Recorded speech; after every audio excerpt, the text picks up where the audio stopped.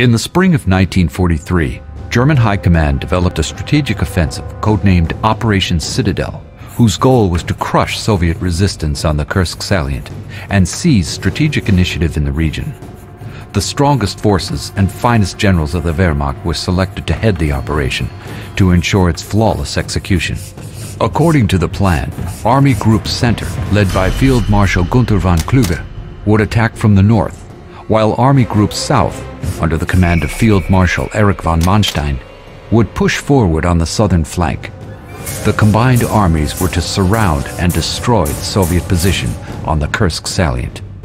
The Wehrmacht's main attack force consisted of 50 divisions, including 16 tank and motorized forces and various separate units totaling over 900,000 soldiers, about 10,000 heavy guns and mine throwers, and 2,700 tanks and assault guns.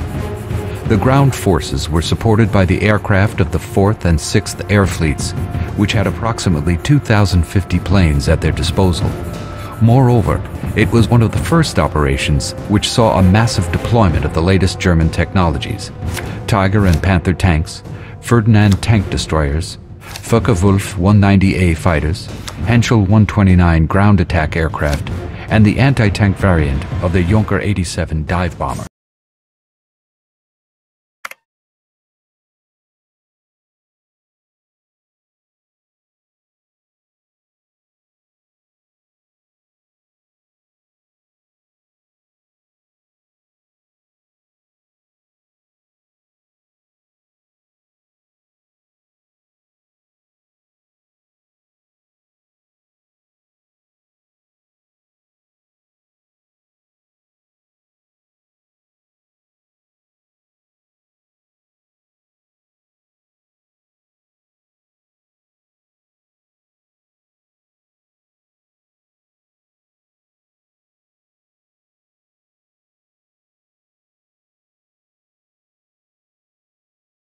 Sie haben neue Befehle.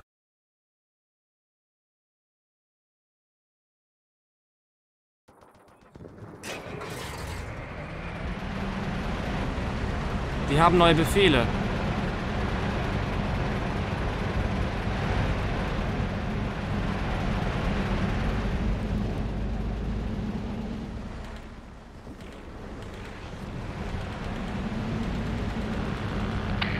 Batterie ist bereit.